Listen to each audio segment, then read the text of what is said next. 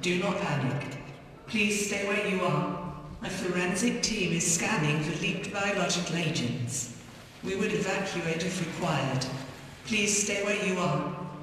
We've uh, un- uncovered a plot by some cyber terrorists who uh, would think have got a chemical agent in the air conditioning system, and they're going to release that chemical agent, which is presumably going to kill lots of people.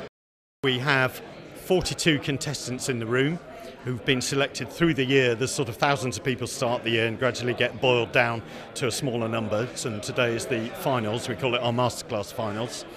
Um, and all these people are aspiring cybersecurity professionals um, at the beginning of their careers, um, and they are doing some uh, really very uh, realistic simulated exercises on a, um, an attack here in London.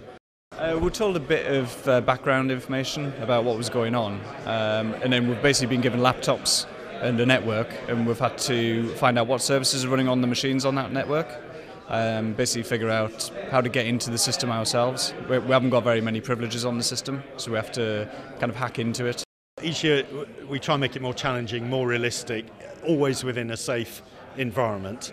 But the people with these skills or, or have aspirational skills and want to do more, uh, it's best for them to practice and exercise those skills in, a, in an environment that's as close to reality as possible.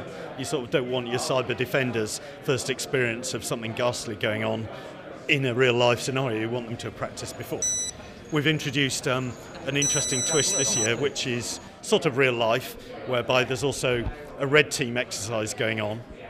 That means that as well as the guys having to do what they do, over in the corner we've got somebody trying to disrupt them and the penny drops on them sometimes that they themselves are being um, hacked, if you like, and some of the progress they've made has, has been reversed. Well, we, by running this competition, we hope that the people who win this competition are the sort of people that we can put almost immediately into the industry environment.